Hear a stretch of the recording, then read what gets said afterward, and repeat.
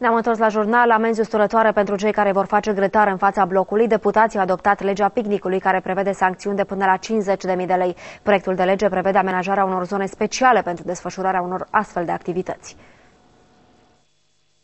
Cei care vor fi prinși ca prind focul pentru grătare în spații neamenajate vor fi amendați cu sume cuprinse între 100 și 5.000 de lei. Deja la noi deșeurile au devenit o problemă istorică. Dacă te apuci să sapi un șanț, o să găsești deșeuri și la uh, 10 cm și la 20 și la 30 cm. Deja uh, uh, cantitatea este mult, mult prea mare. Sunt niște cerințe minimale să fie locuri împrejmuite, locuri în care să existe recipienți pentru colectarea deșeurilor selectivă, uh, să existe o sursă de apă ca cetățenii să-și poată spăla un vas, să nu mai vedem uh, râurile poluate, să existe toalete ecologice, iar acolo unde doresc să și uh, să amenajeze și zone de campare, obligatoriu trebuie să, să existe și uh, dușuri. Schimbarea este majoră dacă ne gândim că mulți oameni erau obișnuiți să facă grătare pe blocuri, pe străzi sau chiar în curtea bisericilor.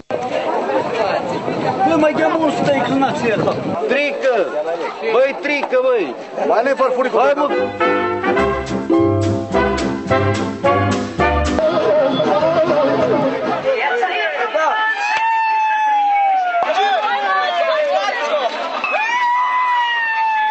Legea nu se referă doar la grătare, ci și la spălatul mașinilor sau al covoarelor pe spațiile verzi. În Brașov există deja 5 spații special amenajate, iar bucureștenii pot face grătare în sectorul 4 în Parcul Văcărești. Legea picnicului a fost inițiată de Asociația Green Revolution alături de patru parlamentari.